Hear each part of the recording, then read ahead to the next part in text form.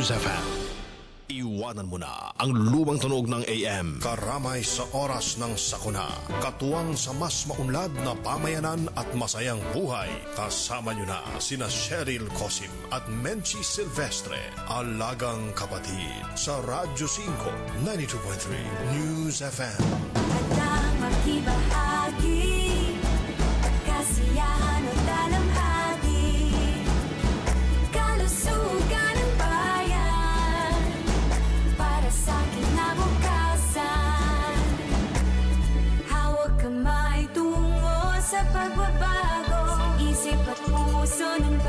bawat Pilipino. Saan ka man ay naroon kami. Happy, happy, happy lunes mga kapatid. It's August 3, 2020. Unang lunes po sa buwan ng Agosto. At uh, welcome po muli sa isa na naman pong espesyal na edisyon ng Alagang Kapatid sa Radyo 5 bilang pagtutok pa rin po natin dito ating pakikipaglaban dito sa ah, nakamamatay at napakadelikadong virus po na ito, itong COVID-19 virus. Ako po ang inyong lingkod, Menchi Sylvester. Kamusta po ang inyong weekend? Samahan po ninyo kami ng isa't kalahating oras ha, just for today and tomorrow, kundi ako nagkakamali, one and a half hours po tayo from 10 in the morning to 11.30 in the morning. Ah, isa't kalahating oras po ng Alagang Kapatid sa Radyo 5, 92.3 News FM. And of course, pwede po kayong tumutok sa atin, mag-comment, magtanong, makinig. Please like and please, more importantly, share our episode po, to- po today dahil napakaganda po, napakarami pong ibabahagi po sa atin ng ating dalawang guests ngayong araw na ito. Of course, COVID pa rin po ang ating tinututukan. Hindi natin pwedeng bitawan yan dahil sa kabila po ng napakaraming kaalaman na meron na tayo ano, tungkol dito sa virus na ito, da- sa kabila po ng napakatinding pag, ah, pagtalima natin sa pagsusuot ng mask, sa social distancing, sa paghuhugas ng kamay, aba lumobo pa rin po sa mahigit 100,000 ang ah, confirmed COVID cases po sa ating bansa. At sinasabi ko nga po, confirmed ano, kasi meron naman pong mga hindi nakapagpatest. Pero baka sila ay meron din. Ako, kaya tutok ho kayo lalo't ngayon, simula po bukas, araw ng Martes, August 4, ay ipapatupad na po ang Modified Enhanced Community Quarantine o MECQ sa Metro Manila, Bulacan, Cavite at Laguna matapos po ang ginawang panawagan ng ating mga bayaning Saludo po sa inyo. Bayaning healthcare workers at mapalad po tayo sa umagang ito dahil kasama po natin ang dalawa sa nire-respeto. Dalawang dalubhasa po ito na sa, sa linya ng, nako, una natin silang nag-guest dito panahon ng Dengvaksya. Usapin ng Dengvaksya at tayo ay minulat nila sa mga sa mga ah, anong tawag dito? Nako, I lost that word ano. Yung delikado, kung bakit delikado ang Dengvaxia noon. Pero ito ngayon, meron na naman tayong matututunan sa kanila. Dito po sa usapin naman ng COVID-19, alamin natin kung gaano nga ba alamin din natin, kamustahin din po natin ang ating mga health workers. Ano nga ba ang pinagdaraanan at bakit humiling ng time out. Yun ang hiniling, ano? Time out po muna para sa ating mga healthcare workers. Ah, ito po, kasama na po natin dito ngayong umagang ito, dalawang doktor po ito, Doctors Antonio Dance, Dr. Tony Dance, and Dr. Inday Dance. Sila po ay dalawang dalubhasa po mula po sa Philippine General Hospital. Teka nga ako gigit na ng kaunti. Okay, ayan. At sila po ay professor at clinical epidemiologists mula po rin sa UP College of Medicine. Doc- uh, Doctors Dance, good morning po sa inyo and welcome to Alagang Kapatid sa Radio 5. Good morning, Menchi, at sa lahat ng nakikinig. Magandang umaga sa lahat. And of course, uh, nako, kailangan kong batiin ang inyong best friend and my sister, my ate, Dr. Mian Silvestre. Good morning. Sabi niya, igas mo sila, igas mo sila, dali, igas mo sila. Of course, sabi, sabi ko, bago mo pa naisip yan, uh, Dr. Mian, naisip ko na yan. At napa-oo na namin sila. So, um, Dr. Dance, uh, bahagya nga po, medyo ikwento niyo sa amin what happened over the weekend at bakit, uy, biglang humiling ng time out. Parang may referee ano, humingi ng time out from the health workers. Ah, ano po ang nagbunsod nito? Ah, ang main reason yan, Menchi, ano eh, napupuno na ang mga hospital sa National Capital. Alam niyo yung hospital, last line of defense natin yan eh. Ang first line, kayo, mga tao, alagaan ng sarili. Second line, yung pamamahay. Kung may nagkasakit, yun muna. No? Ang third line, yung community natin. Pag yung sa mga quarantine center. Ang last line, yung hospital. Pag yan ay napupuno na, ibig sabihin natatalo tayo ng COVID. Kaya nagtawag kami, Oh, time out muna coach. Pag-usap natin, may mali tayong ginagawa. Mukhang kailangan natin magbago ng plano. Pa, yung ah, ano kasi, pag ah, pinakinggan mo kasi, no, pag nas nakikinig ka lamang sa radyo, sa TV, kasi hindi ba nung una, ang stricto, yung ECP na tinatawag, ano, pero Yes. kasi, di ba, nag-ECP na tayo, so parang ang nasa isip ng mga tao, aba, okay na tayong lahat. Eh, ang importante kasi, eh, paha, paha, iba, Paalam. iba, paalam pa rin natin sa marami na nandiyan pa yung virus, kailangan mag-ingat pa rin tayo ng. Mhm. Correct. Diba? Yun. Ang nararamdaman ng mga nasa ah, hospital, yung mga healthcare workers, yung mga tumutuloy ng pasyente, kaya nag-isip tayo na kami, mga healthcare workers, na magsama-sama. Okay. At magsama Um, ng para Time alalahanan. out. Oo, time out. Ah, uh, you, you said ano um ito ay ay ito ay ah, actually this is the first time I heard of it na may nagsabing meron tayong maling ginagawa. Meron mukhang with a 100,000 plus I said nga in my intro no ah, with a 100,000 plus confirmed. Kasi tama po ba ako na meron pa nga hindi confirmed kasi meron mga hindi nakapagpa-test at hindi nila alam maaaring meron silang COVID ah, kaya lang walang pagkakataon, walang pera na magpa-test. Ah, so the the, the, the, the the COVID cases may be more than just the 100,000 plus that ah, we know. Ang tingin namin, mga one-fifth lang ang natetest natin. So yung Oh my 100,000, malamang nasa mga 500,000 or more na tayo. Oh my Karaniwan naman, ah, mild yun, ano? So, gumaling Mild, yun yes. na nakakahawa. Yes. So, ilan Yes. pa yung Okay. Mhm, Ah, yes, okay. Madami, madami pa rin. Madami pa rin. Marami pa rin. Okay. So, I think, uh, kung gusto niyo malaman, ang active cases ngayon, Okay. about Yes. 35,000. So, multiply Yun- mo na yun naman by 5. Yun yung report sa ano sa DOH natin, na DOH data. No? Yes. Yes. Okay. Ang sa kanila, 35,000. Pag sinabi mo kasing active, sila yung Mhm. nakakapapa pa, di ba? Yes. So, kung Okay. dito, mas marami pa doon. Kasi Okay. So, ay, ay, ah, so ang, ang ating panuntunan dito, ang ating formula pala dito is almost everything times five. Yes. Oo. Times five tayo. Yes. And, Kasi- and um, Kasi, Menti, explica lang natin kung bakit Opo. times 5. Kasi, ang karaniwan na na, na, na test eh yung mga napupunta lang sa ospital, di ba? yes, Eh, yes. mga iba ngayon na nakukuha na rin yung mga, natetest na rin yung mga nasa barangay, no? Pero hindi Mhm, ganun. mhm. Eh, mhm. ang ito kasi, mga 20% lang yung ma-hospital. Or 1 out of 5. Or one out Correct, correct. Or one So- out of five. mo, times 5 yung nasa uh, laptop mo. eh. Yun yung lagi Well- namin correction factor. Doc, Doc what, what is your basis for saying times five? Bakit hindi times two? Bakit hindi times three? Bakit hindi times four? Ay, we, we, gusto namin pong maunawaan, bakit times five ang, ang inyong pagbilang, ang inyong formula? Yun nga, kasi one-fifth lang ang natetest. Yung one-fifth one-fifth. yun, yun yung na-hospital. Okay, Yun lang ang okay, natetest natin.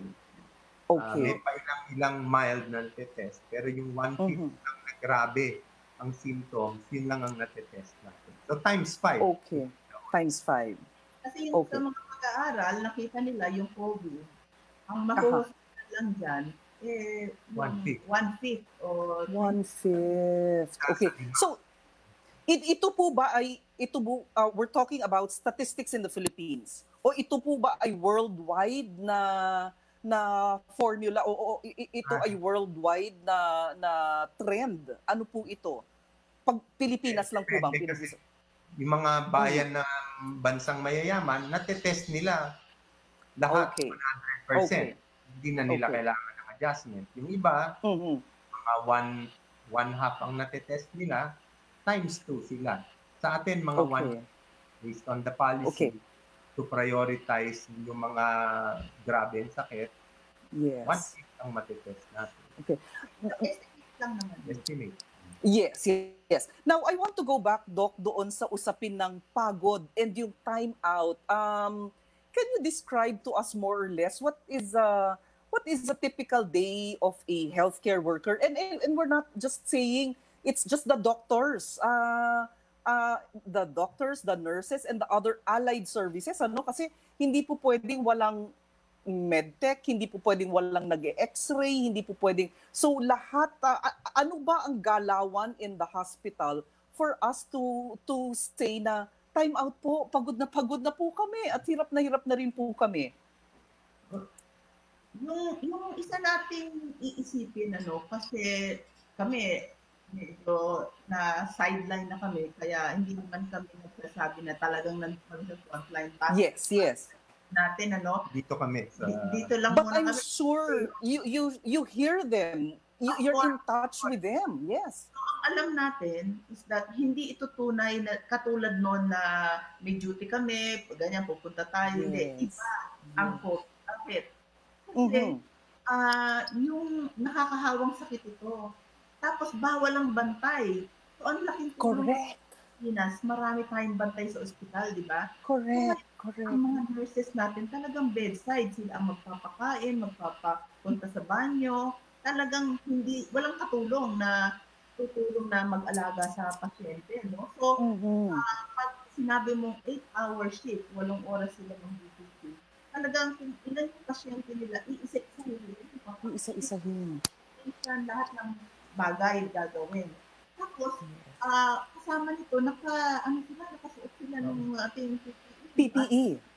Parang For eight nakasuot, hours. no? For 8 hours. bawal pumuntang banyo, bawal kumain. Oh my. Kaya kasama yun, ah kailangan magpalit na sila. Eh, kung na sila yung ating gamit, di ba? Nagpipilitin tayo. Correct. Tayo kaliwat kanan, pwede mong Palitan. i- palitan agad. So, ah, hanggat maaaring hindi nila mabuksan yan, siguro hindi hindi nila gagawin para hindi Mhm.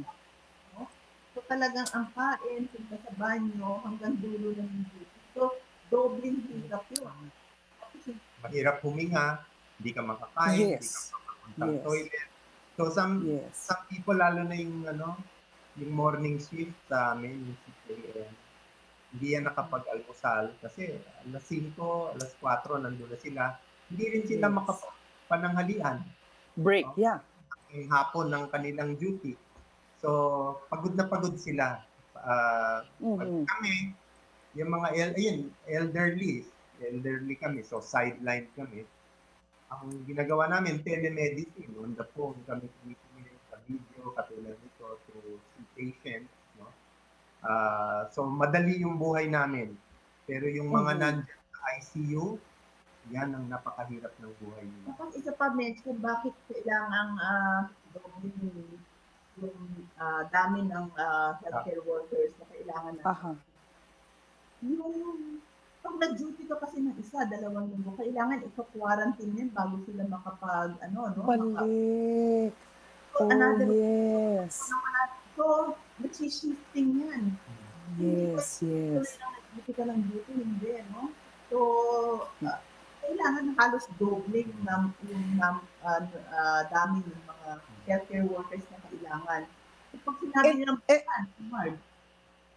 Mhm. Pag sinabi nilang And, and, and give us an tao. Mm. And, and, and give us an idea, uh, Dr. Dance, ano, um, ibig po ba rin sabihin na ito na halimbawa sa yung ibang pasyente, sabi niyo nga po, yung iba kasi ay nasa ICU, yung iba ay nasa regular na kwarto. Okay, pero sila ay nakahiwalay sa ibang mga pasyente. Hindi ito parang do, ah, room 101 COVID, room 102 pulmo case, room 103 diabetes. Hindi po ganon. They are Ay, together in one nakabukod. Pati Okay. daanan nila so- nakabukod. at elevator nila. Pati daanan ay nakabukod. Now, for example, one one COVID positive patient needs, for example, uh, uh, an X-ray. Ibababa ba yan doon sa radiology department? O ibig sabihin na, naku, kailangan na itong gawin dito sa ward o sa wing, sa COVID wing para Oh. walang exposure yung ibang mga pasyente and ibang mga health workers. Kasi I can imagine, there are other patients na naka-confine din po sa ospital. Yes, so nakabukod yung facilities for COVID patients and for non-COVID patients.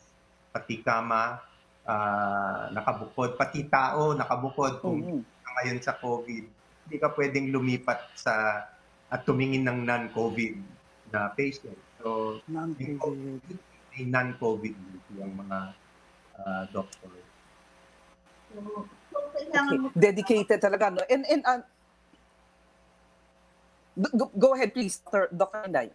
So, kailangan mo talaga mas madaming ah, doktor, nurses, no? Huwag natin kal- kalimutan yung mga medical technicians, no? Medtechs natin.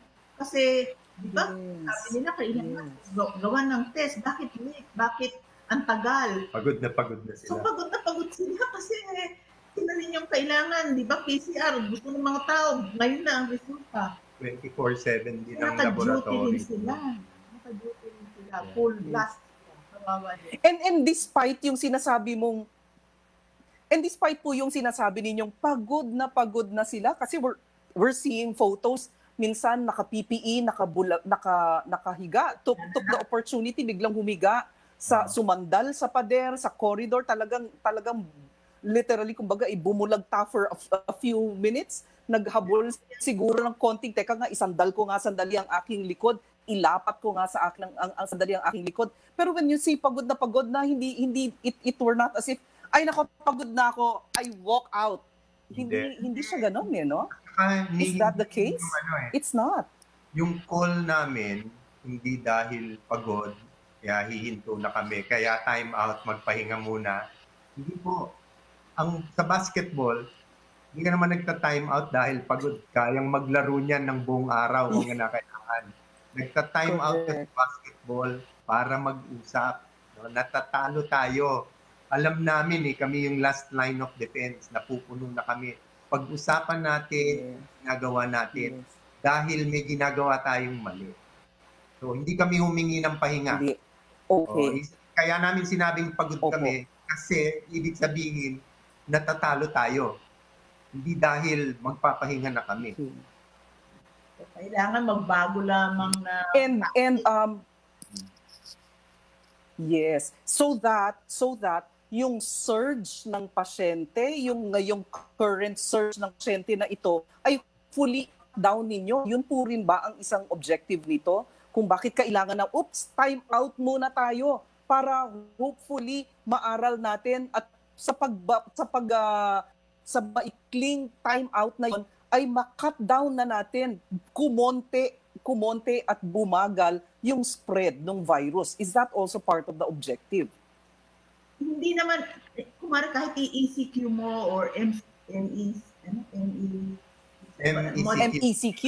oo, Mas hindi matindi. naman namin Okay. naasahan na talagang magsisiro yan. Di ba? Hindi mo naman, sa dalawang linggo, hindi yan mag- Yes. Yes. So, Yes.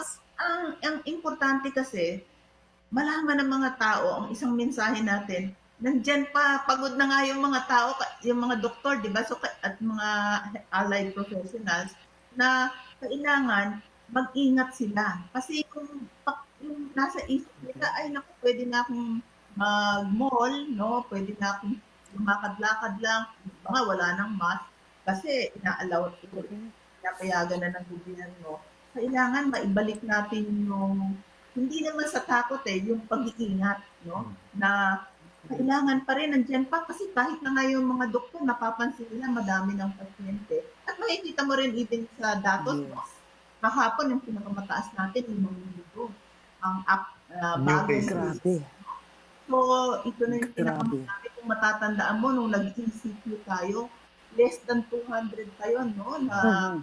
so ECQ na tayo. No? Yes. Na, ngayon, per day. Yes.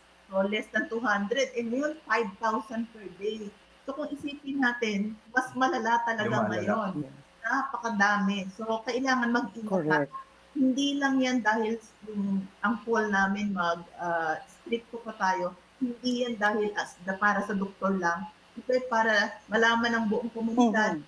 na ano to, dapat tayong lahat eh, involved dito at dapat tayo mag-isip-isip na baka may mali tayong ginagawa, bakit dumadami, hindi na control. Okay. And and allow me to share ano, this is this is going to be really the first time na aaminin din po namin ano.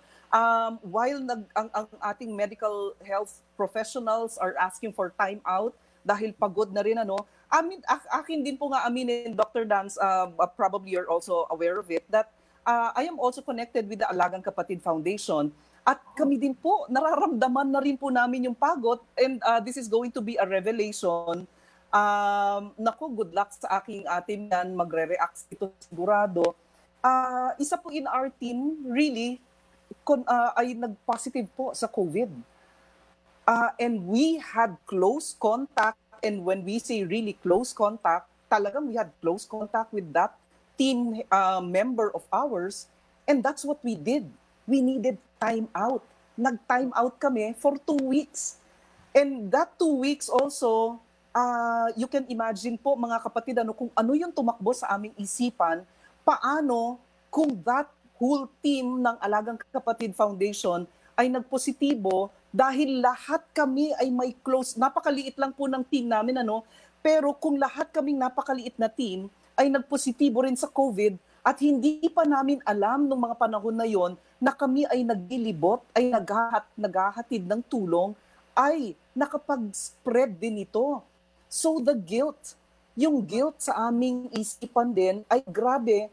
Um, imagine mga kapatid, ano, when, when, while we were waiting for our swab test, nung nagpositibo yung isang team member namin ano at nag at uh, we had to go through a swab test also to make sure at we had to review yung lahat ng aming pinuntahan at uh, ni-ready namin. We did our own close contact tracing.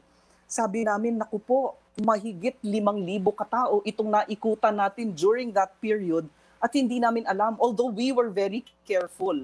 But again, um, before na ang Alagang Kapatid Foundation po ay magkakaroon ng mga operations, let's say twice a month, thrice a month.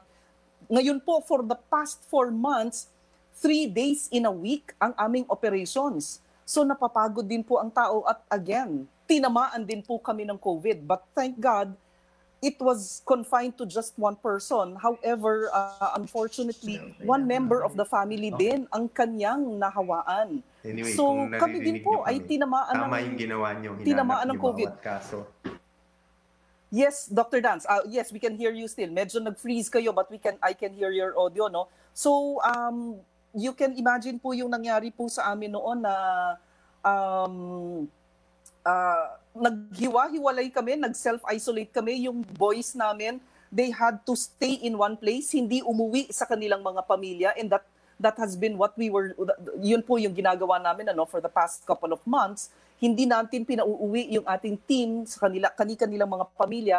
At ah, ah, sabi ko nga martial law kami eh, sa sa alagang kapatid Ah, maingat na maingat pagdating sa paghuhugas ng kamay pagsusuot ng mask ah, social distancing okay medyo nawala ah, sila Dr. Dan so ipagpapatuloy ko lamang po ano so nung isa sa mem- miyembro po ng alagang kapatid ay nagpositibo rin sa sa COVID kami po ay talagang nag-time out, nag-self-imposed time out po kami. Nagpahinga muna yung team, inaral namin ano ba ang ginawa naming mali. Tama yung sinasabi nila Dr. Dance, ano?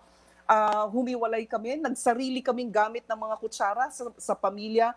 Ako ay umuwi, nag, nagkulong muna ako sa kwarto and, and I had to wait for that swab test ah, para ah, kung malalaman kung positibo o negatibo kami. But again, thank God, uh, the rest of the team ay negative po sa swab test and, and allow me to thank PLDT Smart Foundation, Metro Pacific Investments Foundation, and Makati Medical Center Foundation for facilitating the swab test of the team po ng Alagang Kapatid. At ah, sa ngayon po ay nagre-recover na ah, ang aming ah, ang, ang member of our team in Alagang Kapatid. Um, hopefully kasama na siya, napabilang na siya doon sa statistika ng mga recovered ah, COVID patients. Um, but again, it is not just uh, the health workers, yung mga kapwa ko ring social workers, I can imagine pagod na pagod na rin. Uh, the- we're also frontliners. And uh, okay, Dr. Dance, you're back. You're back. So, tama po ba ako? Oops, ayan, nawag sila ulit. Tama po ba, Dr. Dance, na, na yung ginawa namin, nag-time out din kami? Nag self-imposed time out kami. Uh, what, did we do the right thing? Yeah, I think ano, that inaral ninyo kung ano yung naging problema, kung ano yung pagkakamali, di ba? So, tama, hinanap nyo yung contacts nyo. Ah, so, ganun ang kailangan din ng gobyerno ngayon. Kayo, you were looking at ano bang naging problema tema nyo, di ba? Ganun din kailangan natin gawin. Hindi lang yung gobyerno, yung buong lipunan. Ano bang ginagawa nating mali? Bakit lumalala? At tingnan natin kung paano improve para mapanalunan natin itong laban na ito sa huli. no? At hindi hindi mapuno ang hospital. Yan ang goal natin. Kahit hindi tayo mag-zero, wag lang mapuno ang hospitals natin. So siguro din, importante, Menchi, na i- maganda yung And, istorya mo eh. uh, Kasi ang tawag dyan, ang Mhm. tawag, narinig ba ako? Hmm. Ah, ang tawag dyan, yan yung contact tracing, di Yes, ba? yes. Maganda yung ginawa niya, kompletong contact tracing. Pero yung sinabi mong, okay, mga dalawang linggo kami hindi masya, eh, habang inihintay yung resulta, naghintay, naghinto, naghinto muna kami sa pag-iikot, no? Ah, yun naman yung tinatawag nating quarantine.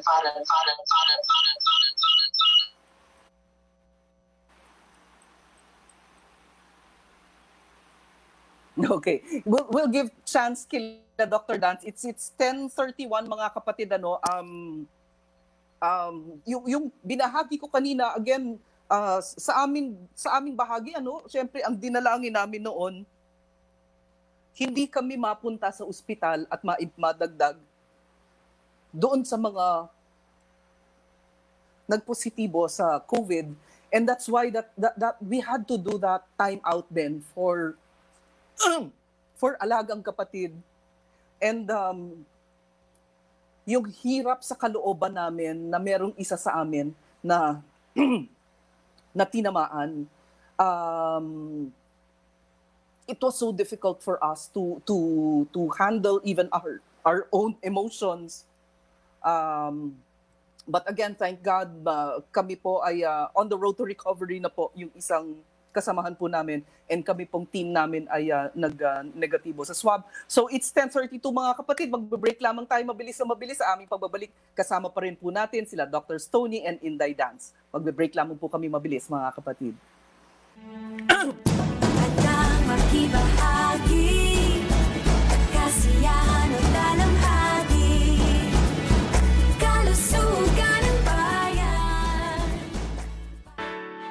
Calling all COVID 19 survivors. If you're an official COVID 19 survivor, currently 18 to 65 years old, and weighing at least 50 kilos, you can save the life of a COVID 19 patient through your blood plasma donation. For inquiries, you may call 0998 582 1944 or 0998 582 1377. Donate now and help save more lives. A message from the KBP, Kaya Natin Movement for Good Governance and Ethical Leadership, St. Luke's Medical Center, and this station.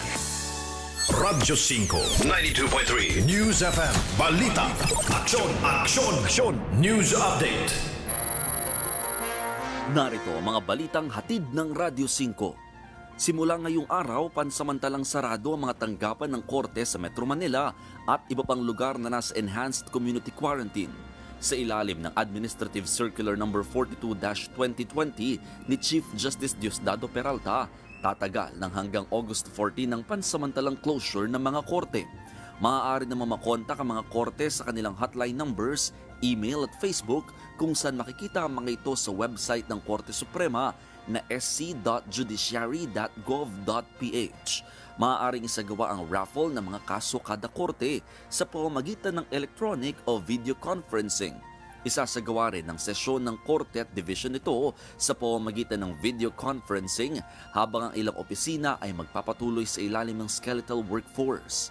Sa kabilang dako, tatanggap naman ng Sandigan Bayan at Court of Tax Appeals ng mga petisyon at pleadings kasama ang mga hearings via video conferencing. Suspendido rin hanggang August 14 ang mga night courts at Saturday courts. Sa ibang balita, nagpositibo sa COVID-19 ang 32 Pinoy crew ng isang cruise ship sa Norway. Kabilang sa nagpositibo ang apat na pung pasahero ng cruise ship. Hindi pa batid ang eksaktong bilang ng sakay ng cruise ship. Apat sa crew ng MS Roald Mahmudsen ang naospital na noong biyernes pagdating ng mga ito sa Port of Tromsø. Naka-quarantine ng mga crew sa barko at pinayagan namang makalabas ang 178 mga pasahero. At yan ang balita. Ako si Mon Gualvez ng Radyo 5, 92.3 News FM. Aksyon! Aksyon! Aksyon! News Update! Ang DOH ay muling nagpapaalala. Yun pong mga nakikita natin sa social media. Siguraduhing tama ang mga impormasyong nakukuha. Kasi baka mas maging mas masama pa sa mga Lalo na sa mga balitang gamot kontra COVID na walang katotohanan at abiso ng kagawaran. Iwasan po natin ang COVID-19 ay hindi malalabanan uusap-usap at pagsispread kung mga fake news ay ating paniniwalaan. legitimate na impormasyon sa aming DOH website. Together, let's fight COVID-19. And together, let's stop Pagsispread ng fake news. and dismiss disinformation. Isang paalala mula sa PCOO, DOH, KBP at ng himpilang ito. COVID-19. Reminders from DOH. Tamang paggamit ng mask. Makakatulong ang pagsuot ng surgical mask para maiwasan ang pagkalat ng mga viruses na nagdudulot ng nakakahawang sakit tulad ng COVID-19. At para ito ay maging epektibo, narito ang tamang paraan ng paggamit nito. Una, hawakan ng mask sa strap at siguraduhin natatakpan nito ang bibig at ilong. Tandaan na ang white side ng mask ang nasa loob at ang blue o ang may kulay na side ang nasa labas. Sunod ay imolde ang nosepiece ayon sa hugis ng iyong ilong. Sa paghubad ng face mask, sa strap ito hawakan at saka itapon sa tamang basurahan. Huwag kalimutan na maghugas ng kamay gamit ang sabon at tubig. Basta't laging handa at sama-sama, kaya natin to. Isang mahalagang paalala mula sa DOH, PCOO, KBP at ng himpilang ito. Tulong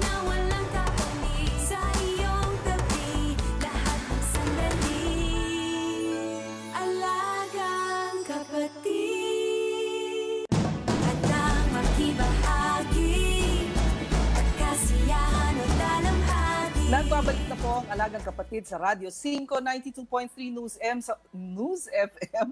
Samahan po ninyo kami uli muli ha.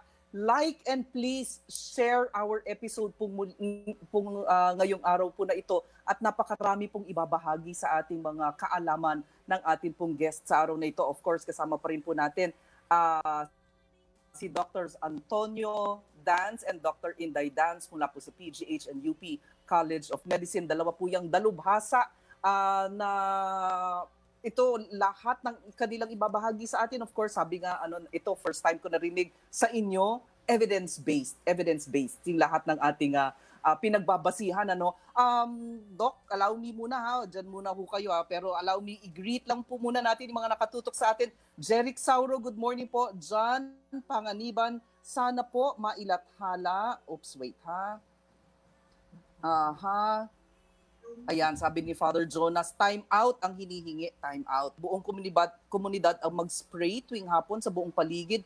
Malaking tulong po yan para mapatay ang bacteria. Okay, but again, ah, again, tama ako, Doc, it's not a bacteria. COVID is a virus, okay? Um, ito isa mula kay John. Panganiban pa rin sa mga toll gates, entry and exit, sana may disinfection pr- spray. Allow me to share uh, our kapatids from uh, NLEX and, and uh, SCTEX, talagang tumaas din po ang bilang ng mga tellers na nagpositibo po sa COVID. That's why NLEX and SCTEX is encouraging palagyan na po ng RFID ang inyong mga sasakyan para po cashless na ang transaction. Wala na pong abutan at kaliwaan ng pera. Okay. Uh, Dr. Dance, you might have to check kung nakamute kayo habang binabasa kong ilang mga messages. Alex Fuentes, good morning. Watching from the ah, ah, smiling capital of the Philippines nga ba ito? Bacolod City. Ito meron tayong isang uh, naku baliktad ang pangalan. Ang hirap kong basahin. Rose Lynn at siya ay taga Batasan Hills at humihingi siya ng tulong. Ah, Edna Bang Bangeles, good morning Radio 5. Jenny Ren Mapala, good morning po Radio 5. Rene Casinto, good morning. Good AM, Mamenchi at Dr. at Doktora Dance. Ito po, Doc, can, can we, can we uh, accommodate this question? Ano? Ask ko lang po, parati pong masakit ang sikmura. Ito, consultation na ito, medical consultation. Paragi pong masakit ang sikmura at dibdib ko at parang may bara lalamunan ko kung ano ang gamot, okay, na pwede at antacid. Pero wala pa rin po. Ah, ah, apat na buwan na po ito, araw-araw masakit. Ano po kaya ang dapat na gamot o pwede niyang gawin? May maintenance po ako sa diabetes at hypertension. Salamat and God bless. Senior na po ako at iwas na po ako sa lahat ng bawal kainit at inumin. ECG at X-ray ko naman po ay um, okay naman po noong May 27. So this is already uh, uh, uh, lockdown time ano o uh, ECQ time. Last na lang po Julien Busco. Wow, Doktora Dance, pedya ng anak ko. Ayan ang inyong pasyente. Wendy Manusang Gumabaw, good morning, Ma'am. So, uh, senior citizen, diabetic, hypertensive, um, ito yung isa sa mga delikadong delikado for COVID. Yes. Dr. Dance. So, parang hindi naman COVID yung nararamdaman niya. Ah, sa tingin ko, ah, hindi naman natin nakakasap ng Okay. Pero, alam mo, napapabayaan talaga yung mga taong may ibang sakit dahil sa COVID. Ah, kasi parang ang tawag nga ng ano, iba, our health system has become COVIDized. No, lahat na ng attention nasa COVID. Kaya ang mga tao may diabetes pa rin at may high blood. Mura pa rin. Pwede kang mag-heart attack, pwede kang ma-fracture. Kailangan matulungan pa rin sila. So, ang ang dapat po dun sa pasyente niyo pupunta na ganyan, mag-consult. Pero saan siya pupunta? Di ba? So, meron pong ano, marami pong ah, telemedicine ngayon na mga doktor, doktor na Mm. Tayo, ganito. Parang video. nag-consult din. Para rin silang ano, Correct. uh, through Viber or Facebook or Zoom. Ah, ang PGs po, meron pong hotline. And uh, bayanihan hotline. And you can consult there uh, and they will connect you to the doctors. No? So, yun ho dapat gawin para masabi ng mabuti kung ano yung sakit. Parang pag pinapakinggan ko, parang meron siyang septic, uh, hyperacidity, acid, kaya bibig. Pero don't take my word for it, kailangan pong magkonsulta. Magkonsulta. Okay. Uh, I, I guess parang ganun din itong comment ni Ah, okay, parang ganito rin po yung comment ni Azegral Largueza. Baka baliktad dito, Junior. Eh paano naman si at ubo lang, eh COVID agad. Di ba pwede nagkaubo dahil sa panahon? Ah, importante yung tanong na yon, ano, Menchi? Yes. Ah, alam mo, ang nakakatakot sa sakit na ito is 80%, eh, 80% either halos walang nararamdaman o walang nararamdaman. Pero At- meron kang COVID. Pero meron kang, Mhm. yun yung nakakatakot. Kasi Pero hindi meron. nakakahawa eh. Mabuti pa yung 20% na grabe ang nararamdaman, kailangan kumonsulta at mag-hospital, makukonfine sila, hindi sila nakakahawa ng Mhm. marami. Ang nakakahawa, yung may konting ko, konting sipon, no? konting lagnat na pwede mo namang wag pansinin, maglalamyerda sa lansangan, sila yung nagkakalat niyan. Oh. At kada sampo or na na contact nila na nahawa, pag may sampung nahawa, dalawa ron magiging malubha. So kaya sinasabi namin kung merong matanda sa bahay, kung merong may sakit sa bahay, ikaw kahit konti ang nararamdaman mo o kahit wala kang nararamdaman, kailangan mag-ingat ka kasi ikaw ang ginagawa ng tulay ng virus para makapatay ng ibang tao at ma-affect malubhang sakit ng ibang tao. tayong mga malusog at konti ang karamdaman, tayo yung tulay ng virus.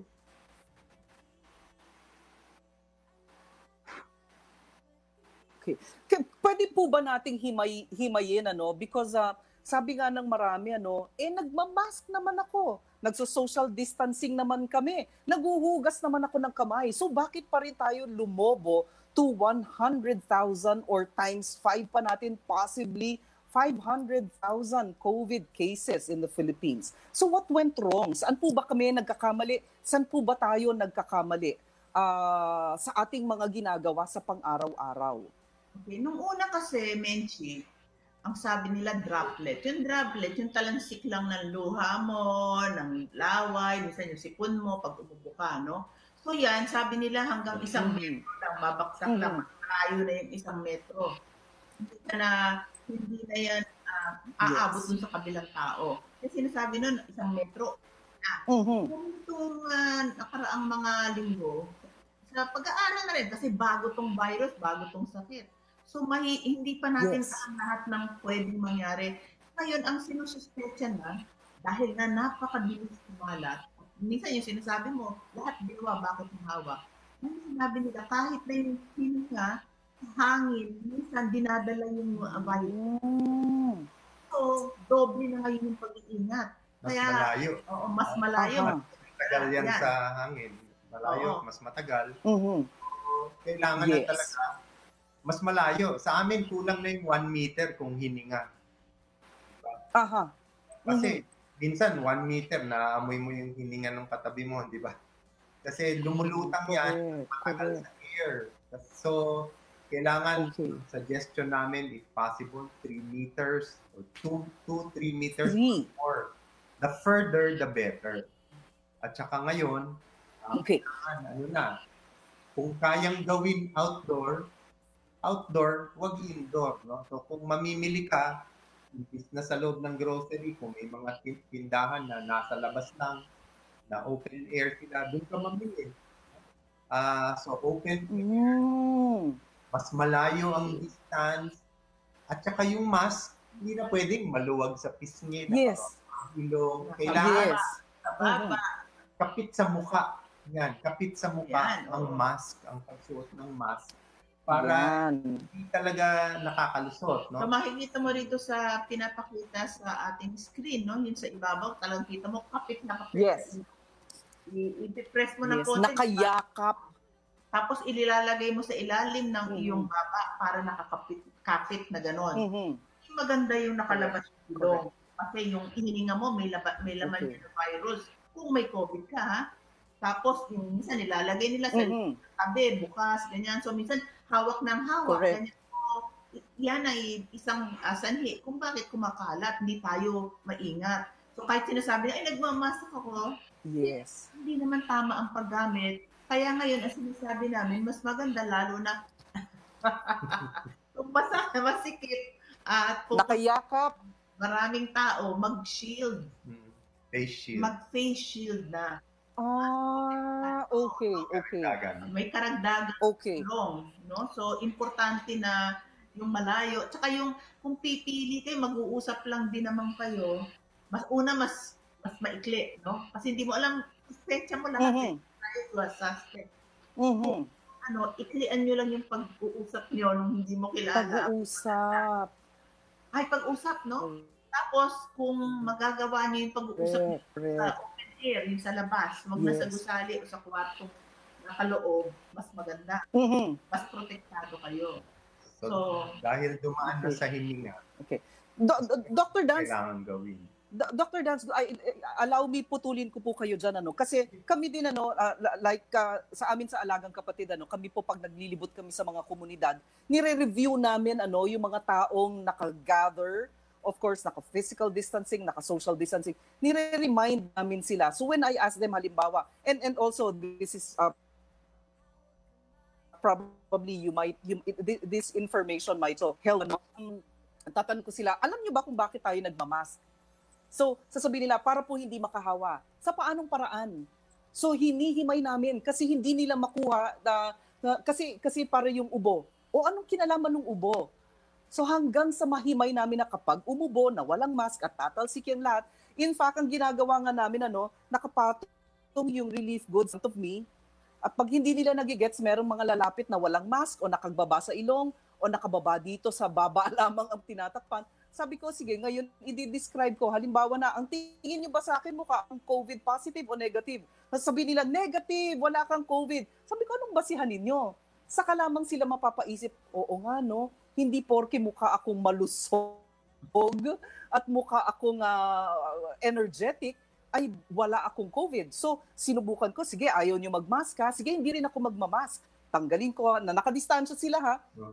Tanggalin ko ang mask. Sabi ko, ang, ang, kung halimbawa ako ay positive at, at sa palagay ba ninyo habang nagsasalita ako, ay tumatalsik ang laway ko? Sabi niya, opo, tumatalsik po. Eh, so sabi ko, sige, halimbawa hindi nyo alam kung ako negative. Sino mag interest ngayon kumuha itong relief good sa harapan kong natalsikan na ng laway ko?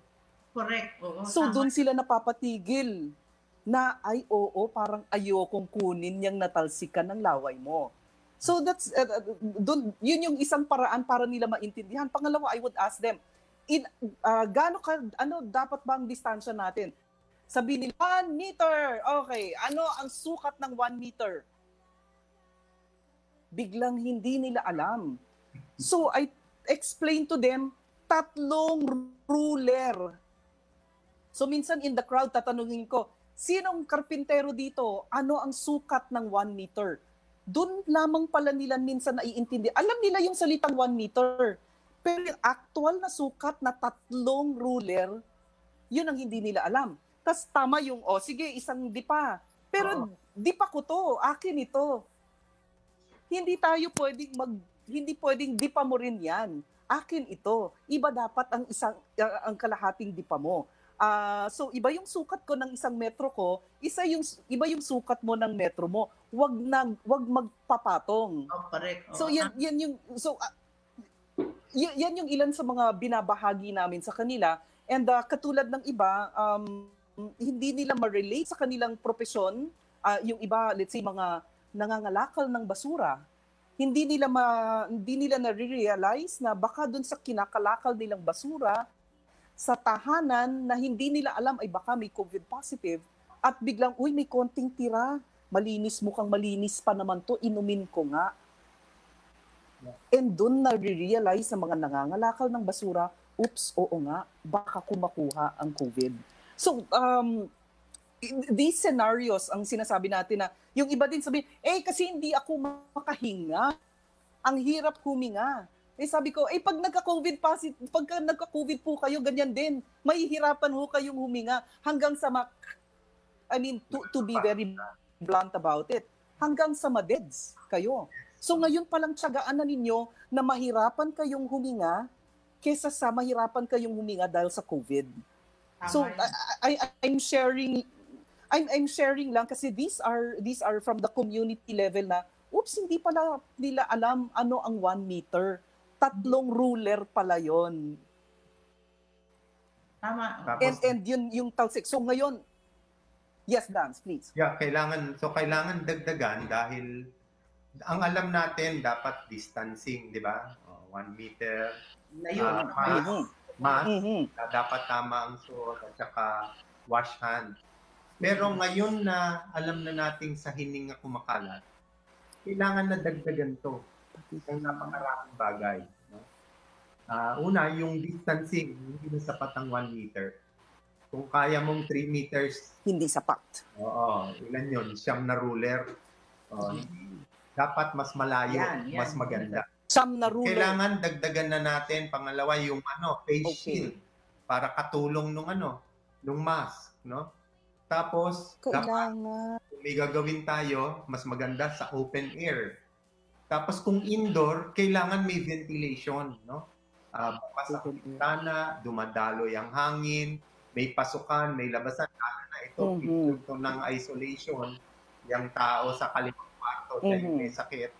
Kailangan Mm. yung yung electric fan sa kwarto na nakaharap sa labas, no? Para doon ang labasan ng hangin. Yung doon naman sa kabilang kwarto, yung electric fan niya paloob para may daloy ng hangin palayo Mhm. sa may sakit, no? Para na protektahan. Siyempre, Okay. hindi naman lahat ng tao may bahay na ganito kalaki. Kung hindi nyo magawa yung isolation sa bahay ninyo, kailangan tumungo kayo ron sa mga ating quarantine centers kasi ano naman, ah, maganda naman ang ginagawa nilang accommodations, ayan tulad yan. So, ah, libre naman ito para sa mga hindi kaya ng isolation sa bahay. So, ang daming idadagdag sa strategies natin. At itong two weeks na to, kailangan maturuan lahat ng tao kung ano tong mga additional strategies. Um, can, can, Menchi, kailangan yes, no? Doktora Dan, Doktora Inday. Yung mga sinabi mo, yung mga inisa-isa mo na yon, importante na naintindihan nila eh. Lahat na lang sinasabi mag-mask. Hindi naman nila ini naiintindihan kung bakit. Kaya yung, kung alam nila na galing sa hininga, di ba? At ang mask na yan, hindi Mhm. para sa kanila. Para dun sa kausap nila, di ba? So, napoprotektahan nila yung iba, mga mahal nila sa buhay, sarili rin nila napoprotektahan. So, lahat na yan, dapat hanap And, um, magawa natin. And, and, and Doc, pakikonekta nga yung kamay. Bakit ba mahalaga? I- I'm asking this not because I don't understand. Pero bakit ang action? Ano ba yung crucial na natulay dyan? At bakit ta- kailangan ang kamay natin ay ah, kailangan free from the virus? Uh, well, so, ano yan eh, yung, di ba, sabi natin saan nanggagaling? Nanggagaling sa luha, sa, tsaka hindi kailangan umiyak ka para may luha. May luha ang mata natin, basa yan kahit Correct. umiyak. Pwedeng galing sa ilong. At hindi kailangan sumisinga ka. Yung ating ilong, laging merong fluid yan. No? Hindi yan. Pag natuyo yan, may sakit ka. At saka sa Mhm. laway. Diyan ang gagaling. So pag kamot ka ng mata, Mhm. may luha dito. No? Kung nagpunas ka ng ilong, may, meron diyang fluid din. No? At saka pag umubukas sa kamay mo, o pinunasan mo, merong laway dyan. Ngayon, hahawakan mo yung pintuan, bubuksan mo sa supermarket, o ibang tao, pumapasok din dyan. Diyan nila nakukuha. Sila naman, pag hawak nila ng doorknob, kakamutin din nila yung mata nila. No? Or kasa ng ilong at at bibig. So, ganun nalilipat. No? Doon sa mga hinahawakan natin. Ganun kasimple. Kung may tinitingnan ka, nahahawakan mo, isipin mo lagi, marami bang humahawak dito? Kasi kung maraming humahawak dyan, mag-ugas ka na bago bago mo hipuin at pagkatapos. Yung, oo, yung isa pa, Okay. okay. yung ah, ang ating mga, ano kasi, kahit na wala ka pang nararamdaman, no? Sabi nila, marami ka ng virus diyan sa mga binanggit natin, sa luha, sa bibig, no? Meron Oh. na yan virus. So, kahit Mhm. na pa siya, hindi pa siya mukhang may sakit, pwede na niyang, pwede nakakahawa na yon. Tapos pag, lalo na kung may simptoma na, no? Kaya isang singa lang niya o kahit Mhm. mama niya lang, pwede niya nang mahawa. Kaya nga sabi nila, eh, chinecheck naman lahat na pumapasok, wala namang may simptoma. Mag-iingat pa rin. Kasi may posibilidad pa rin na yung tao na yun, pwede siyang magkasintoma ng ah, in five days, ay, sa limang araw, nakahawa na yun sa iyo. Yes. So, sabi nila, yung Okay. first five days na yun, bago ka magkasintoma pa, nakakahawa ka na. Trader yung virus. Can, can I also... Sh- sorry, Dumadaan sorry, siya. I didn't catch that, Doc. Ah, sabi ko, traitor yung virus na yan. Ginagamit niya Traitor. yung maluso at saka yung hindi masyadong malubha. Ginagamit, ginagamit nila yan para hanapin yung mga pwedeng mamatay. Hinahanap nila yung matanda at may sakit at may high blood at may diabetes. Kasi doon sila magka, magtatagumpay na makakuha ng isang ano, buhay. Okay, mamaya na po yung tumatawag kay Dr. Dan. A few more minutes pa. Okay, it's na muna 10.58. natin. Pero, Do, Do, Doc, may, may, may, may, may I share this muna po, ano, kasi like ah, itong isang, ah, eh, I, I mentioned, itong, itong isang teammate po namin sa Alagang Kapatid, ano, so siya ay dinala sa isang quarantine facility. Ah, the, the ah, actual experience ito, that's why I want to ask you also, dinala siya sa quarantine facility and and uh, he stayed there for for six days. Uh, having completed supposedly the isolation at home and another six days in the in the quarantine facility. At ang naging basihan para siya pauwiin ay isang rapid test. Isang rapid test he tested negative for the rapid test ay sumakit ang ulo ni doc bigyan natin si doc ng gamot okay sumakit ang ulo ni Dr. Dance I we contested. Okay, we contested the rapid test. But again, ah, di ba, the rapid will supposedly check uh, uh, a current uh, antibody and an old antibody, but still he uh, he tested negative for for uh, in the rapid test. Pinauwi, pinauwi kami uh, sa Alagang Kapatid sa TV5, ang protocol is kailangan swab. True enough, he tested positive for swab, pero nakauwi pa siya. But ilang tulad niya na galing sa isang quarantine facility ang hindi na mag-undergo ng swab and kampante na. Ay, negative na ako sa rapid eh. So pwede na ako magtrabaho, pwede na ako pumasada uli, pwede na ako magtinda uli, pwede na ako lagi, pwede na akong uh, mag-mall uh, thinking the rapid test says I'm negative. Jess, pwede pa ba natin ipasagot yun very quickly bago tayo mag-break? Sige po, Yes. Doc. So, yung quick ano, lang ah, quick. quick lang, quick. quick. Maling-mali yan eh. Siguro sa Manila yan. Kasi sa Manila, ang ginagamit na nila yung rapid test. Pero meron ding maraming LGU na rapid antibody test ang ginagamit. Ito, simpleng-simpleng maunawaan. Ang antibody, na alam natin kung nagkaroon na ba ng infection ng isang tao. Hindi natin masasagot yung tanong na meron ba siyang kasalukuyang infection. Para gawin yan, ang ginagawa, antigen test. Yung antibody, nagkaroon ka na ba?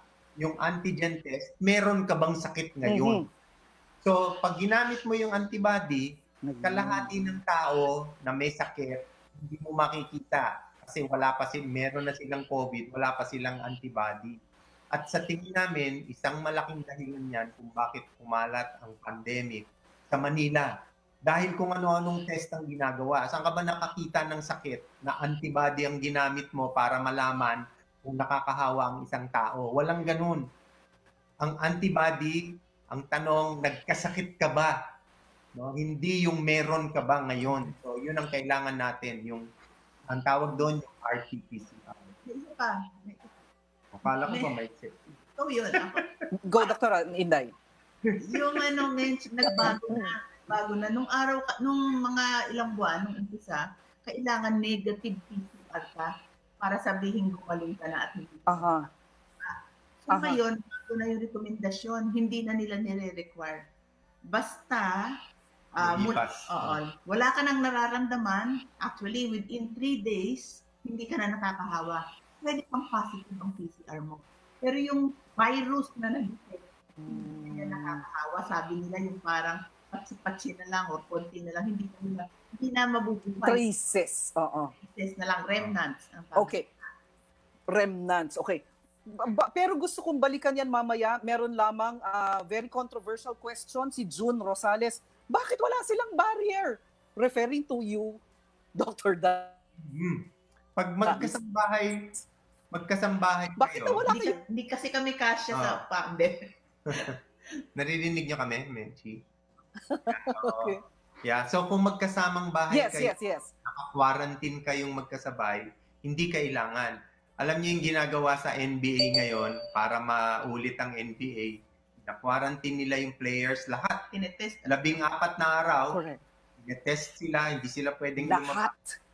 Kasi Lahat, yes. pati coach, pati referee, pati uh, water boy, naka-quarantine sa isang bubble, doon lang sila. After 14 days, okay na silang ah, mag-basketball at mag-game, no? Eh, kaming dalawa po, naka-quarantine na ng limang buwan. so, it is now safe to stay Mhm. together. Ngayon, pag sa bahay, yan. Kailangan hiwalay na kwarto, may mask. Yun. O, pag may nagkasakit sa bahay, kahit konti. Saka pagkain, dapat hiwalay. At hiwalay yung pagkain, kung pwede, hiwalay yung banyo. Kasi pag kumakain, naalis mo yung mask. Yes. So, talagang pwede makain. Correct. Correct. Ayan. It's 11.03 mga kapatid. I have to mention lang Esther Santos, the president of PLDT Smart Foundation is also watching. Sabi niya, good choice of resource person. My doctor friend nested. Dr. Tony Dance to head. Toot. Magbe-break muna tayo. Mabilis na mabilis pero magbabalik pa rin po ang alagang kapatid sa Radyo 5.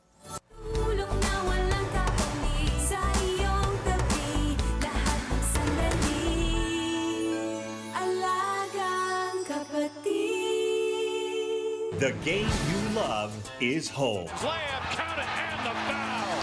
The NBA is now on Signal. Feel the excitement and share the winning moments. Catch live NBA games every day on NBA TV Philippines. Subscribe now to Signal. Call 8888-5555. Select live NBA games are also available on TV5 and One Sports. NBA Whole New Game. Sa patuloy na pagkalat ng COVID-19, narito ang ilang impormasyon tungkol sa social distancing. Sa community quarantine, nililimitahan ang paggalaw ng mga tao. Ganito rin ang sitwasyon sa sektor ng transportasyon, subalit patuloy ang biyahe ng cargo at delivery. Ipinagbabawal naman ang pagtitipon-tipon sa isang lugar. Suspendido rin ang klase at ibang aktibidad sa loob ng isang buwan. Ipinapatupad din ang flexible working hours sa mga ahensya ng gobyerno at hinihimok din ang mga pribadong kumpanya na gawin din ito. Sa panahong ito, hinihikayat ang lahat na panatilihin ang layong isang metro o isang dipa mula sa mga tao sa inyong paligid. Labanan ng virus, pigilan ang pagkalat, puksain ang COVID-19. Isang paalala mula sa PCOO, DOH, KBP at ng himpilang ito. Transmitting live. From our brand new studios at TV5 Media Center and Reliance Mandaluyong. By land, by sea, and on air. Mula sa pinakabaksyong newsroom sa buong bansa. 25,000 watts. Radyo 5, 92.3 News FM. Iwanan mo na ang lumang tunog ng AM. Tulong na walang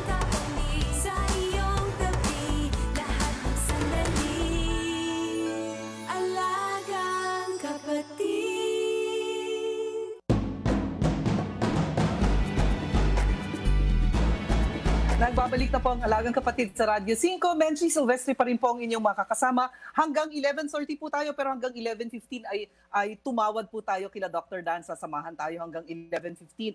Um, konting mga greetings. Milet Jordan Andres, good morning Ma'am Menchi. Keep safe always. Bukas po ang makakapanayam naman po natin ay si Dr. Liquete po ng National Kidney and Transplant Institute. Ah, Teacher Dada, ah, good morning din sa'yo my best friend si uh, G Santos is watching, another BFF Elsa Oliva is also watching at uh, magkasama kaming nag-donate ng dugo last Saturday. Okay, Jenny Laksamana from Cap, uh, Cardinal Santos Medical Center is also watching. Donato Castañeda watching uh, Gerardo Bombase, yan kasama natin yan uh, sa kabilang buhay natin sa ABS-CBN.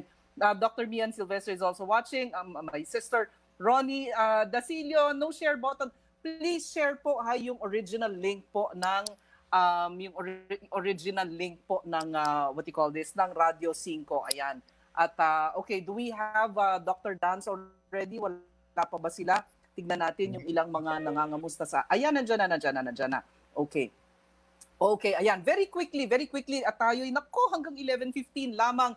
Uh, yes or no, malaking tulong po ba ang pag-inom ng mga vitamins or other supplements uh, para makaiwas uh, sa virus? Marami ng pag-aaral dyan, ano, Menchi. Nung, nung bata ako, Mhm. iniinom ako ng vitamin C. Nung bagong graduate ako, kuminsan nagpe-prescribe ako ng vitamin C sa Menchi. Mga, lumabas na ang mga studies.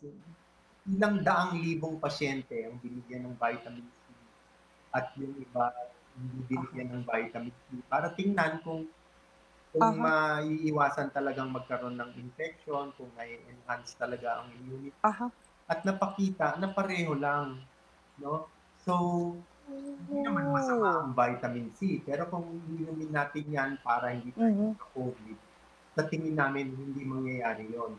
Ang suggestion ko pag may tanong sa akin yan, alam mo ano, kung ano ang best vitamin C, Mhm. Or even the best vitamin, What? yung gawa ng Diyos. Yung napipitas na vitamin. Hindi yung vitamin na napipitas. na mahal, na walang lasa. Mas masarap pa yung vitamin na gawa ng Diyos at tamang-tama ang dose. Yun ang dapat natin na nakain na vitamin. Hindi yung nabibili sa butika. Ibig sabihin, maraming prutas, gulay, andyan ang vitamin. Salamat. Hindi ko nasundan natin sa atin.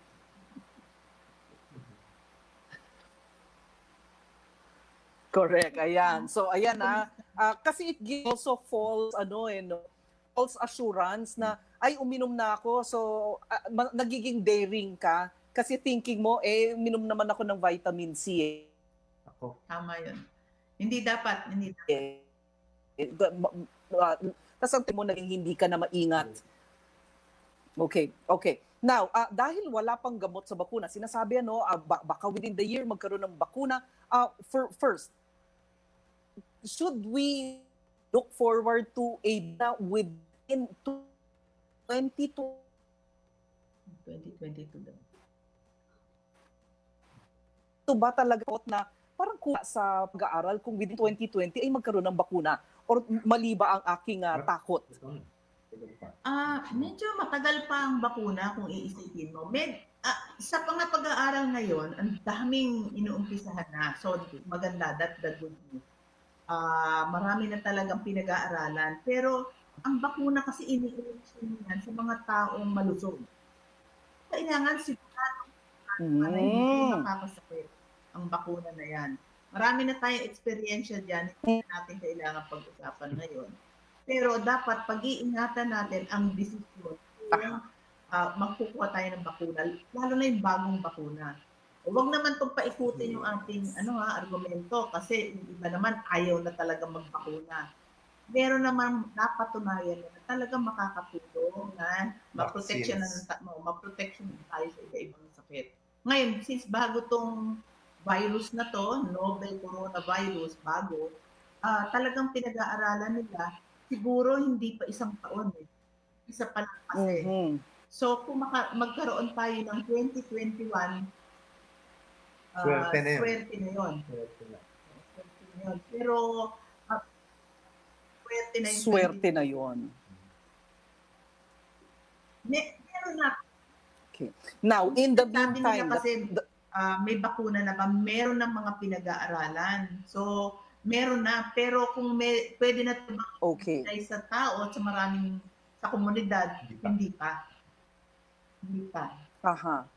Okay. Now, in the meantime, na wala pang bakuna, pero there are available vaccines for flu, for pneumonia, for the elderly. Would you recommend na yung mga po namang maka-access ng flu vaccine, ng pneumonia vaccine, is it re, is it advisable? And sino, kung, may, kung meron mang dapat na ah, mag-avail nito, sino po ang ah, advisable na magpabakuna for flu and magpabakuna for pneumonia? Unang-una, yung mga binanggit mong bakuna, hindi yan anti-COVID ah, para malinaw lang tayo. Okay? So kung gusto mo magpabakuna nitong mga ito sa flu Yes. pneumonia, Mm, para lang mabawasan yung chance na, kasi pare, halos pareho yung simptoma eh. Yung flu, trangkaso yan, sipon, saka pneumonia, sipon, lagnat, ubo, di ba? Kahawig talaga ng coronavirus. So para mabawasan na yung Yes. natin. Kasi pag nag-ubos sipon ka, corona, COVID ba yan? COVID na? So at least yung trangkaso yon yung flu vaccine na nabawasan. Hindi na, na-protect na sa kasi na yon. So sino mga pwede? Yung flu binibigay naman natin na yan na regular. Taon-taon yan binibigay kasi effective lang siya for one year eh. Kasi nagbabago yung virus. Kailangan dagdagan nila yung pinapakuna natin. Yung Yes. pneumonia, um, hindi naman sa lahat, pero ay usually may mga sa mga na, mga bata sa mga talagang matanda or yung laging may mga hika, may mga iba pang sakit, ah recommended yan. So siguro Sakit yun sa puso. Oh, kasi- may chronic lung disease. Yan binabak Okay. pneumonia vaccine. Okay. Okay. Uh, mula kay Mia Annabel Manikan Sarangay, thank you po for the info. Mas kapani-paniwala po coming from doctors kesa from social media news. Okay. Uh, quickly also, uh, tayo'y malapit na rin magpaalam uh, kila Dr. Dance. Uh, uh, ano po ba ang, ang uh, ano pa po ba ang taga, tagubilin pag pinag-uusapan ng isolation and quarantine? Ano ba ang tamang isolation and quarantine? Nung una ako, I will admit, sabi ko, o sige, magka-quarantine ako, hindi muna ako sasama sa team ko ng alagang kapatid. So ako ay hindi sumama sa kanila pero nag-grocery ako, pumupunta ako sa talipapa, bumibili ako ng gamit sa labas. So mali. Tama po ba ako? Mali yung ginawa kong quarantine. So, so ano, yung isolation, ano, Menchi, ginagawa yan dun sa may sakit, may nararamdaman. Isolate, mas maano yan, mas matindi sa quarantine. Okay. Yung isolate, dun siya sa kwarto niya, hindi siya dapat nakikihalubilo sa mga kasambahay niya. Meron siyang sarili Mhm. banyo at uh, hiwalay ang schedule niya kumain, no? Ah, O inaabutan lang. Hindi na okay. lang ng pagkain pwede. Yan yung mas mahirap yung isolation. Yes. Tama, kasi malaki ang chance ang mahahawa yung kasambahay. Yung quarantine naman, ginagawa yan dun sa mga ano, may nakasamang may sakit. Sila, okay sila, wala silang nararamdaman. So, hindi yan kailangan na nasa sa separate room sila. Pero kailangan nandun sila. Kaya sila. Kasi baka Mhm. magkakaroon pa lang sila. Hindi pa natin alam. Baka naman hindi sila magkaroon ng sakit. So, yun ang kaibahan ng isolation sa quarantine. Mas matindi yung isolation. Mhm. Okay. Um, uh, nagbukas na ang ilang mga negosyo, bukas ng ilang mga malls, restaurants, public transportation, yung iba pwede na magpagupit, pwede na magpa magpa-mani pedi. Um, meron uli binawal pero ipinaghigpit ano. So, paano ba? Ano ba ang dagdag? Meron pa bang idadagdag doon sa paghihigpit o meron pa bang dagdag sa say uh, uh, health precautions o protocols na ginagawa natin ngayon para nga tayo ay makakontribute sa pagta-time out ng ating mga health workers para tayo ay ah, hindi natin maikalat pa given the situation na pwede nang lumabas ang iba sa atin. Dagdag na paalala. So sa workplace, uh, Menchi, napaka-importante ang concept, ang tawag namin, ano, presenteeism. Alam niyo yung absenteeism, wala kang sakit, hindi ka pumapasok. Yung presenteeism, may sakit ka pero pumasok ka. Aha. Wala na yan. Kahit konting ubo, kahit konting sipon, ikaw, pag pumasok ka, ah, pwede mong mahawa yung mga tao sa trabaho mo. So, dapat stay home talaga kung may kahit may konting sintomas. So, dapat payo namin sa mga workplace, tinatanong lahat ng empleyado, araw-araw, meron ka bang ubo o sipon itong nakaraang labing apat na araw? Kahit konti, kahit konting-konting ubo at sipon, huwag ka muna pumasok. At saka kung meron kang nakasama na merong COVID, may Mhm. may COVID, Yes. maghintay muna ng labing apat na araw bago pumasok ulit. So, yan ang mga kailangan sa workplace. Tapos, kailangan sanitize the environment, magkakalayo ang nagtatrabaho. Kung pwede, palitan ng trabaho. Merong sa MWF, hindi ba naman PTA, yung mga maari mag-work from home, mag-work from home. So, maraming kailangan gawin. Hindi ko masabing karagdagan to kasi alam na natin to dati. Ang problema, hindi Yan din. Mhm. ginagawa. Kailangan gawin ng lahat. No? Isipin nyo, kung hindi nyo ito ginagawa, pwedeng yung pandemya sumasama dahil sa inyo. So, we all have to be very vigilant. At ang isa, dalawa pa. Yung, alam mo, pag pumunta ka, minsan hindi Mhm. ka nag-checklist, di ba? Ah, hindi na rin, hindi naiintindihan kasi kung Yes. ano importante yon no? Eh, check, eh, check, check, check, check, check lang, ganon. Bawat simptoma na tinatanong doon, importante Isipin na isipin mo kung ka ba sa last two weeks, no?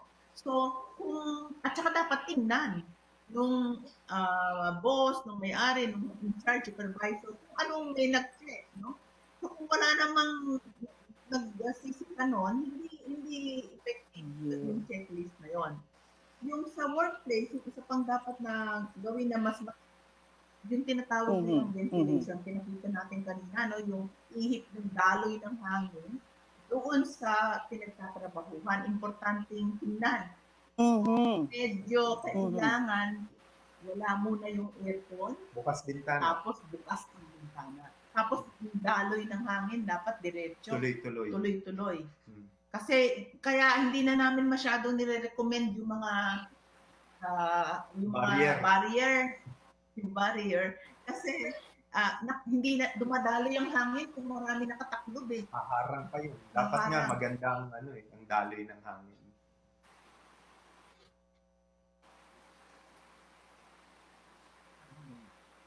Oh, sorry ha, alam ko pinag pinag ah, pinagra-wrap up mo na kami pa. Last one last question. Kailan po ba maituturing na hindi na nakakahawa ang isang taong nagpositibo sa COVID? Kailan ba siya considered recovered at hindi na siya makakahawa pa sa iba? So, Very quickly, sorry. dalawa. Ah, 14 days nang nakaraan mula nung nagsimula ang karamdaman niya. Mula nung nagsimula ang karamdaman, 14 days. At saka, tatlong araw na siyang walang nararamdaman. Yun ang best way to decide na pwede nang pumunta. Hindi test, hindi test. Hindi test ang kailangan. Hindi yun ang recommended. PCR or yung antibody. Okay.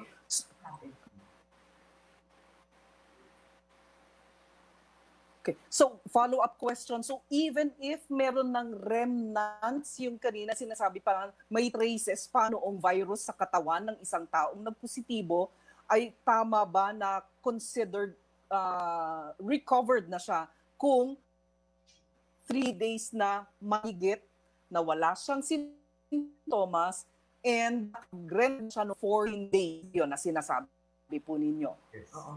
Yes. Yeah, oo. Tama. Tama. Kaya tinanggal na nila yan. Kaya nagkagulo eh sa datos Okay. kasi tinanggal na nila yung criteria Okay. na yon. Na kailangan PCR negative.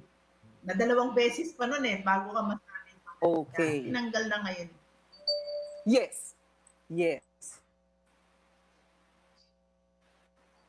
Oh. Thank you very much. Dance mula and yuling salamat sa ibinahagi sa amin ngayong araw na ito.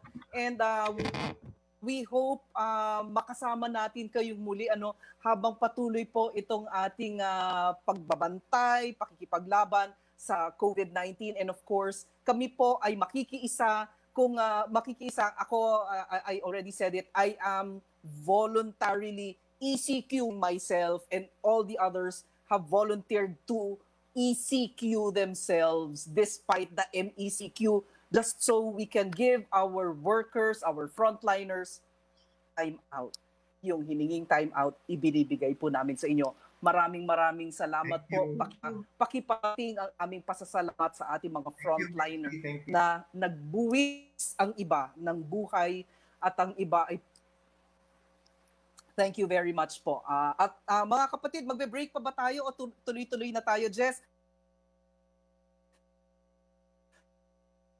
Makakasama naman po natin si Dr. Pedro. Yun ang head po center at ah, tayo ibabalitaan noong Sabado po ay ginanap. Ito na naman po uli nga voluntary. Dito na okay ito kasama natin. Sorry Dr. Tagayuna tayo ay nabi, na ano no na na na konting na extend ng oras natin. Ang hirap ang hirap bitawan pagka talagang masarap ang ating kausap at napakarami natin natututunan. Doc and of Mm. course kayo ay isa sa aming mga suki. Hindi po pwedeng hindi kayo magbabahagi ulit sa atin.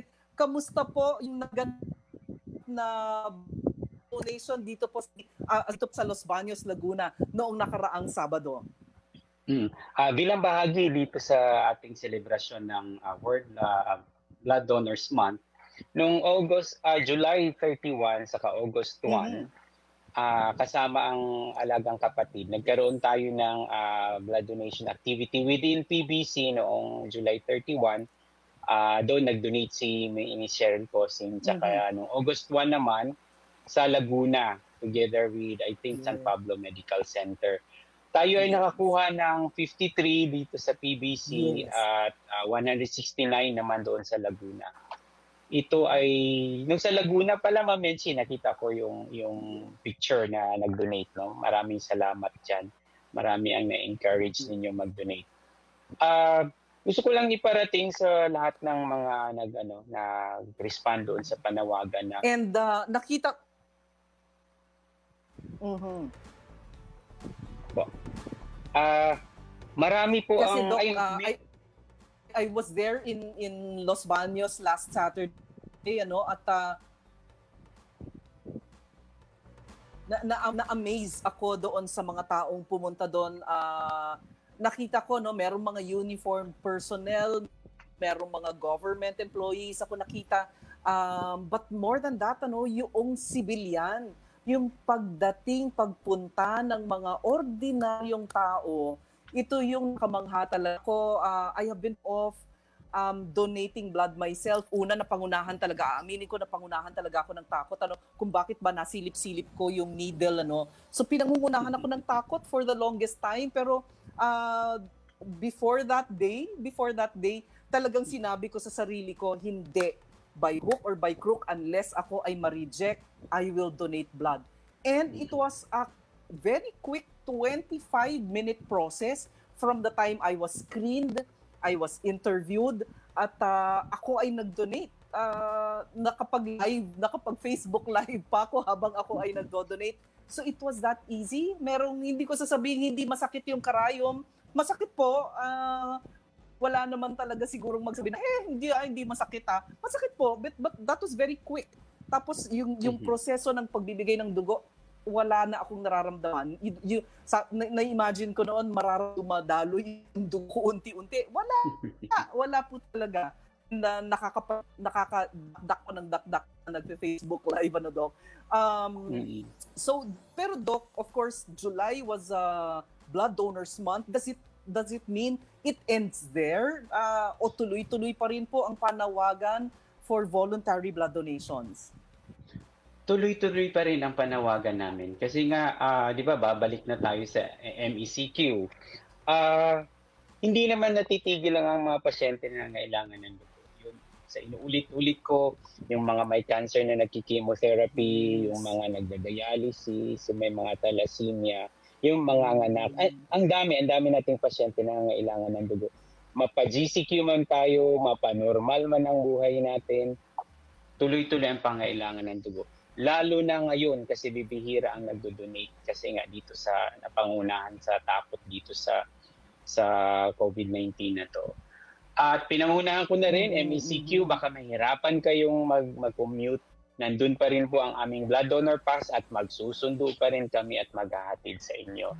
So kung wala namang ginagawa sa bahay at wala namang nararamdaman, mag-donate kayo ng dugo. Safe po sa amin, sa Philippine Blood Center or sa ibang blood center pa kasi hindi po kami nag-handle ng mga uh, pasyente. COVID cases. And there are some COVID cases na nangangailangan go. So, talaga na sa posisyong magbigay na please uh, magbigay po tayo. Hindi lamang COVID cases sabi nga ni Doc ano there are cancer patients there are dialysis patients that need that, that need our blood. May mga manganganak na maaaring kaila, kailanganin ng dugo. May mga naaaksidente pa rin po uh, despite yung lahat ng pag-iingat meron pa rin pong naaaksidente at kailangan ng dugo uh, sila po ang kailangan pong naka-standby why is it so important, Doc, na standby blood? Okay. Kailangan natin ng uh, stable na supply. Kasi sa panahon na nangangailangan ng dugo, hindi tayo pwedeng mag, ano, eh, mag-rely na, ah, maghanap tayo ng donor para mag-donate dito. Stable. Hindi. Kag- mm Kailangan pag nandun ang pangailangan, maibibigay natin. Kasi hindi hindi na talaga pwede yun. Kailangan tuloy-tuloy lang na nagbibigay. Merong mga, mga, mga ngailangan o wala. Basta tuloy lang ang pagbibigay. Yes. And and uh, Doc, konting review, sino ba ang pwedeng mag-donate? Ako po, I'm hypertensive. Um, Mhm. Ako ay naka-maintenance med, low dose maintenance medicine for hypertension. Pero pumasa po ako kasi controlled ang aking hypertension. May mga nagtatanong rin silang diabetes. Pwede rin ba sila iniinom silang gamot? So sino again, Doc? Sino ang pwedeng mag-donate? Okay, unahin ko lang yung sa may diabetes.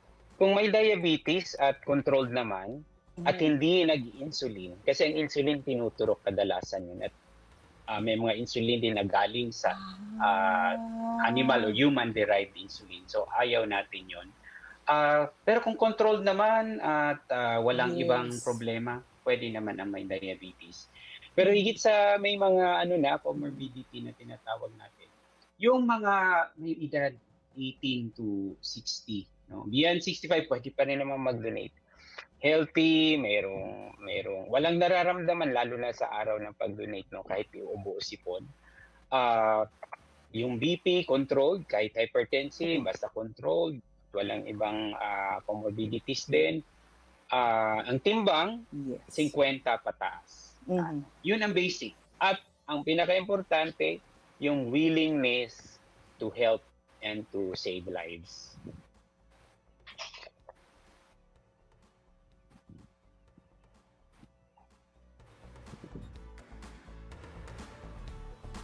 sabi ko nga, ah, ah, ako, I am hypertensive. Naaalala ko du- during the live din, ano, si Cheryl Cosim, sinabi nga niya, meron din siyang maliit na tattoo.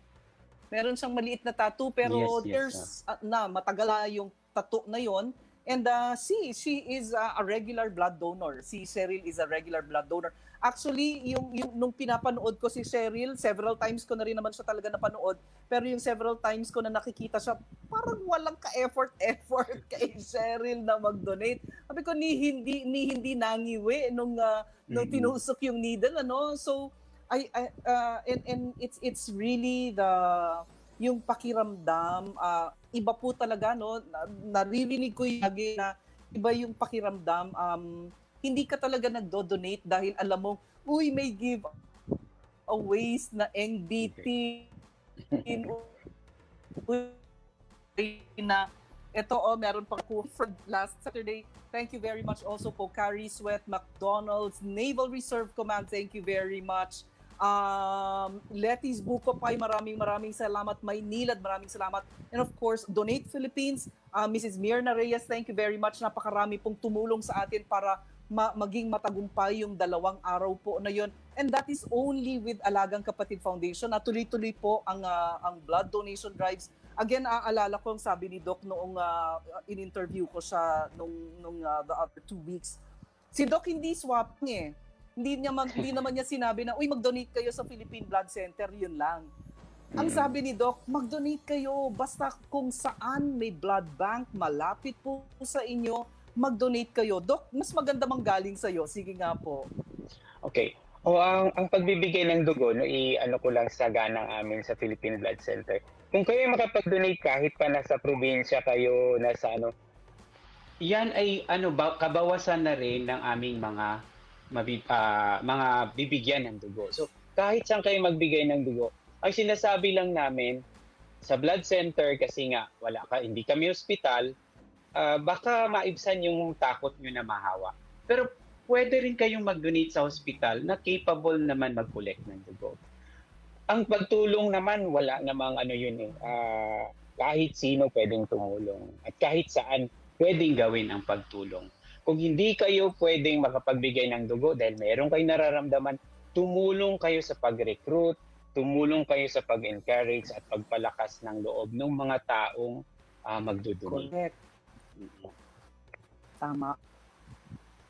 Tama, tama. Okay. So yun nga ano, if you think uh, and, and again, do do not do not presume na ay ako hindi ako pwede mag-donate kasi ganito ako, ganyan ako. Uh, submit yourself for screening and allow the doctors na mag-screen sa inyo, na magsabi sa inyo na ay talagang hindi ka po pwede. Uh, wag mong pangunahan na yung condition mo ay ganito so hindi ka po pwede mag-donate. So again, Doc, tayo ay kailangan ng magpaalam. Muli, paanyayahan po po natin ang ating mga tagapakinig at tagapan tagapanood na patuloy po sana maging kultura na natin ang makipagbayanihan, dugoyanihan at tayo ay mag-donate ng dugo sa ating kwa. Oh, sa lahat ng mga nanonood, sa lahat ng mga nakikinig, sa lahat ng kababayan natin na naniniwala na ang pagtulong ay hindi kailangan na hindi na idadaan sa pera o sa material na bagay. Meron po tayong lahat nito, meron ng dugo. Dugong buhay na maaari nating pwede ibigay. Ngayon sa panahon ng pandemya, ginagawa po natin ang ating ang mga paraan upang mas mapadali sa inyo ang pag-donate. Ah, hindi na ito ngayon. Sana maging, sinabi na nga ni Mamenchi kanina, sana maging way of life na natin. Mag-donate tayo ng dugo every three months. At hindi lang sana yon patuloy rin nating iinganyo ang iba pa. Encourage natin na magbigay ng dugo. At ah, mapatuloy na mag ano na maging ah, healthy para tuloy-tuloy rin tayo makakapagbigay ng dugo. Yes. Okay. Thank you very much, Dr. Pedrito Tagayuna, ang Salamat. head po ng Philippine Blood Center. Again, mga kapatid, nandyan lamang po ang Philippine Blood Center sa Quezon Avenue sa Quezon City. Tapat lamang po yan ng Philippine Children's Medical Center. And by the way, kung hindi kayo makatawid to PBC, you can always donate. Meron din pong blood bank ang Philippine Children's Medical Center. Ma'am Maluto Lentino, hello po sa inyo. And uh, you can also donate dyan po sa pagamutang iyan. Again, maraming maraming salamat mga kapatid sa inyong pagtutok sa amin.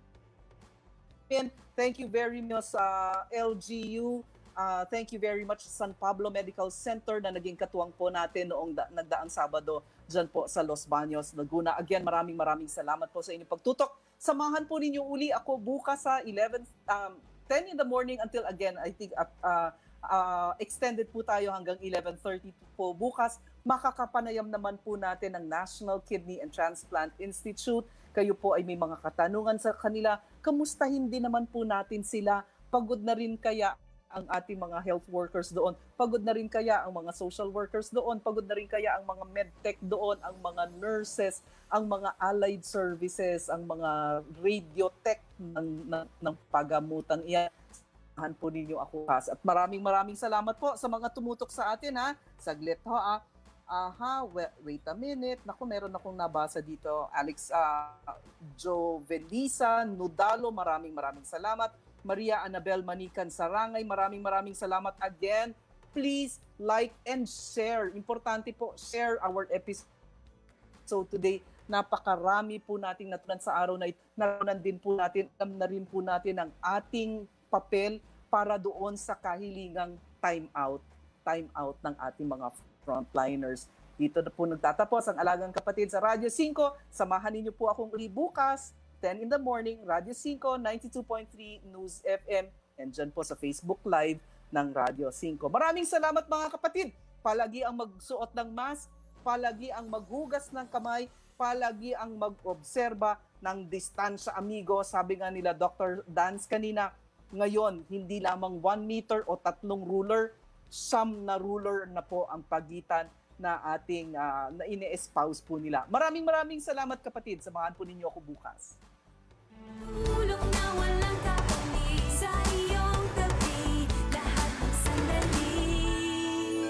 Alagang kapatid May kurot sa puso at may mga kwento ng inspirasyon at pagsisimula. Alagang kapatid sa Radyo 5, 92.3 News FM. Alagang kapatid Radyo 5, 92.3 News